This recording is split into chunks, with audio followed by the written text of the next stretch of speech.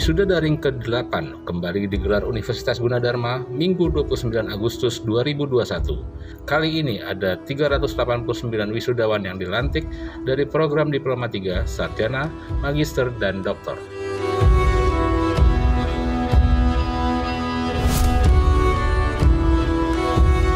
Selain itu, dalam acara wisuda daring ini juga dilakukan pengukuhan dua guru besar tetap Universitas Gunadarma, yaitu Profesor Dr. Insinyur Hotniar Siringoringo sebagai guru besar tetap ilmu ekonomi dan Profesor Dr. Insinyur Prasetyo Wibowo SSI MMSI sebagai guru besar tetap ilmu teknologi informasi.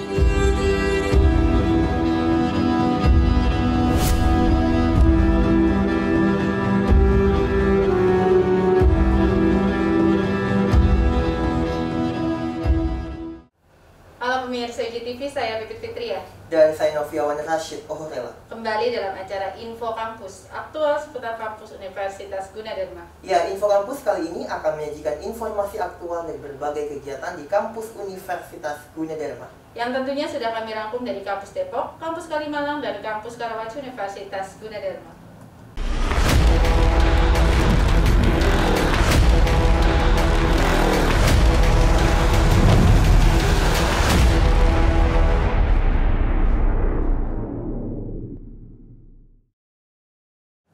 Pemirsa UJTV, Minggu 29 Agustus 2021, Universitas Gunadarma menyelenggarakan sidang terbuka Senat Universitas Gunadarma dalam rangka wisuda program Diploma 3, Sarjana, Magister, dan Doktor Universitas Gunadarma, sekaligus pengukuhan guru besar tetap Universitas Gunadarma tahun 2021 yang dilakukan secara daring.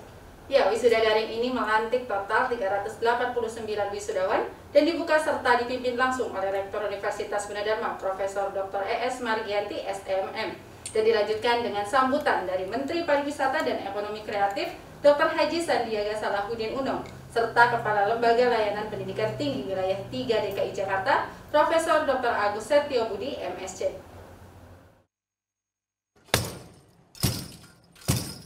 Hadirin yang terhormat, sidang terbuka Senat Universitas Gunadarma segera dibuka dan dipimpin oleh Rektor.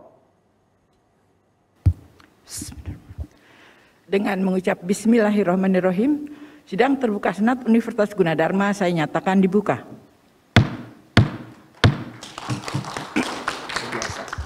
Nah, satu tahun tengah terakhir ini kita tengah berjuang melawan pandemi COVID-19 dan memberikan dampak yang sangat besar sekaligus sebuah tantangan dan peluang di setiap lini kehidupan termasuk di sektor pendidikan. 400 tahun lebih pendidikan kita tidak terdisrupsi. Polanya masih classroom, polanya masih lebih banyak uh, sistem konvensional, tapi dalam satu tahun setengah ini pola pendidikan kita berubah total. Secara fundamental, kita sekarang semuanya terhubung melalui digital. Dan ternyata disrupsi ini menghasilkan satu terobosan-terobosan inovasi maupun tantangan. Pandemi juga mempengaruhi sistem pembelajaran dari segi inovasi, adaptasi, dan kolaborasi. Perkuliahan ini yang tadinya tatap muka dengan online ternyata dimudahkan dari berbagai hal tapi juga diberikan tantangan di sisi yang lain.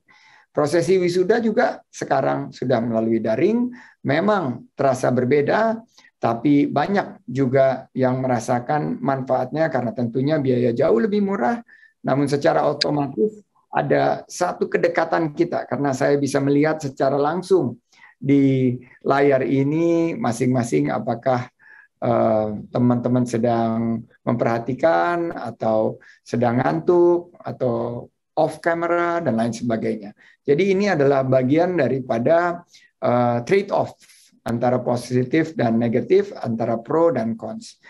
Wisuda banyak yang mengartikan adalah tanda selesainya masa belajar. Salah. Belajar itu adalah seumur hidup. Uh, education is a long life journey. Jadi it's never ending. Dan perjuangan kita akan semakin terasa setelah wisuda karena wisuda adalah titik awal perjuangan saudara wisudawan wisudawati. Awal proses meniti karir ke depan dan banyak yang kita belajar di masa perkuliahan ini akan menjadi referensi, tapi yang juga sangat penting adalah pertemanan kita. Bagaimana pertemanan kita, silaturahim kita akan membantu kita menggapai cita-cita saudara masing-masing. Dulu waktu masih um, physical, wisuda ini saya bilang suruh melihat ke kiri, ke kanan, pegang tangan masing-masing, dan mempercayai bahwa masa depan kalian akan terhubung dalam satu gerakan silaturahim kolosal. Tapi sekarang kita bisa melihat di ruang Zoom ini cari teman yang uh, memiliki visi yang sama dan mulailah persahabatan untuk mencapai cita-cita kita.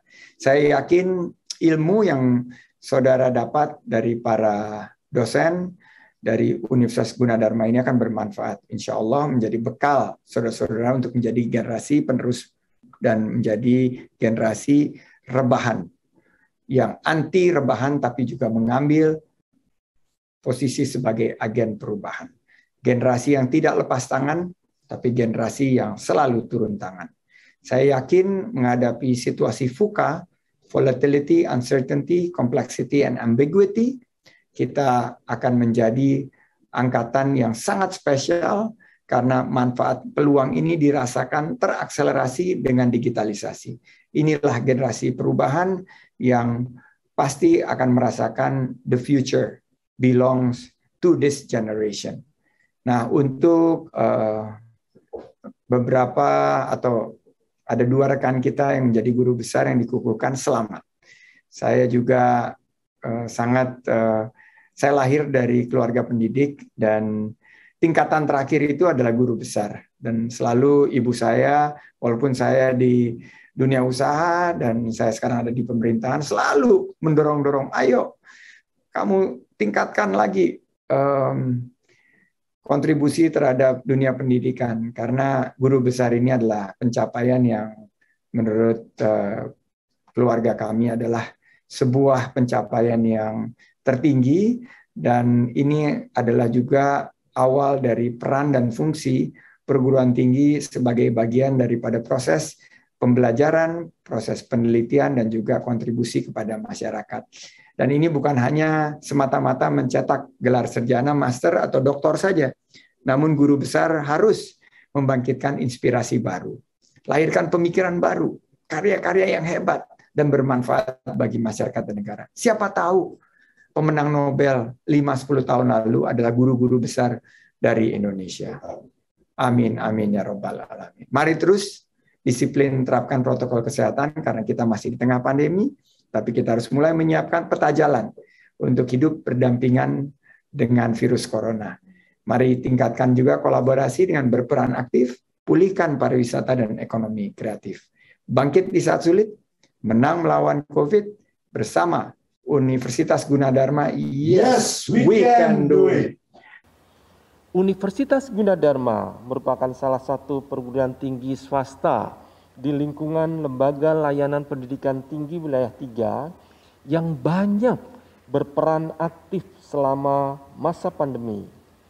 Kita patut bangga dan apresiasi bersama atas semangat volunteering dan aksi gotong royong mulai dari telah mengabdikan dirinya dalam membantu pemerintah memerangi pandemi COVID-19, seperti menjadi sentra vaksinasi bagi para tenaga pendidik, tenaga kependidikan, mahasiswa, bahkan masyarakat umum. Membuat berbagai gerakan bakti sosial, kegiatan kerelawanan, menggelar berbagai webinar yang bermanfaat hingga menghasilkan berbagai inovasi seperti Juji Roxy yaitu kompres oksigen uh, konsentrator dan mobile silent compress, air generator sebagai fasilitas kesehatan di ruang perawatan rumah sakit. Wisdawan, wisdawati hadirin yang budiman, perguruan tinggi dituntut untuk terus berlari kencang karena perubahan yang begitu cepat saat ini membutuhkan sumber daya manusia unggul yang adaptif, fleksibel. Melalui kebijakan Merdeka Belajar Kampus Merdeka, perguruan tinggi dan lulusannya harus masuk dalam gerak kemajuan pembangunan bangsa dan negara.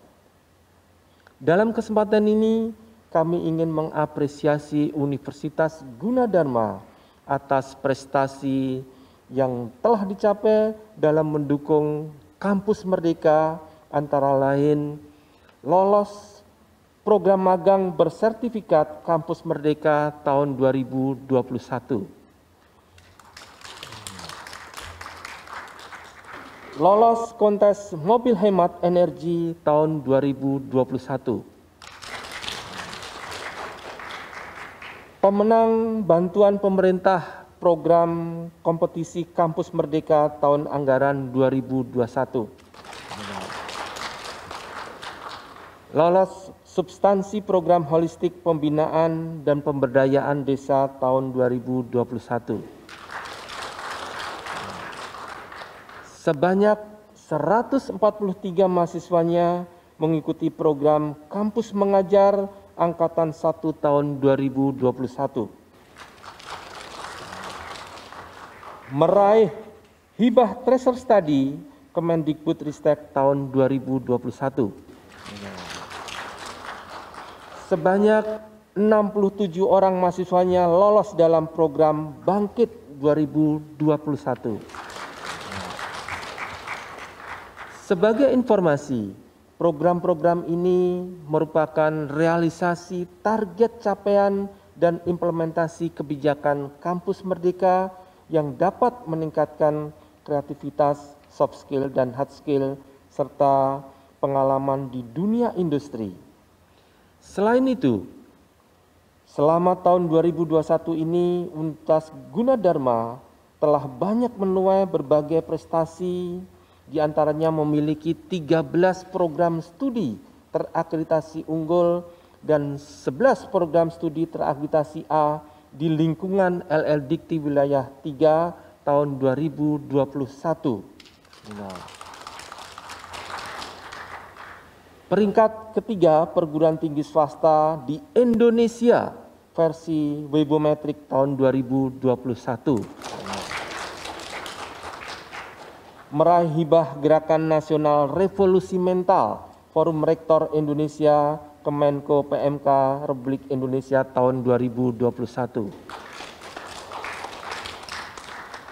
Memperoleh penghargaan EduTech Award sebagai perguruan tinggi piloting dalam program inklusi kesadaran pajak pada perguruan tinggi di lingkungan kantor wilayah DJP Jawa Barat 3 generasi cerdas sadar pajak tahun 2021.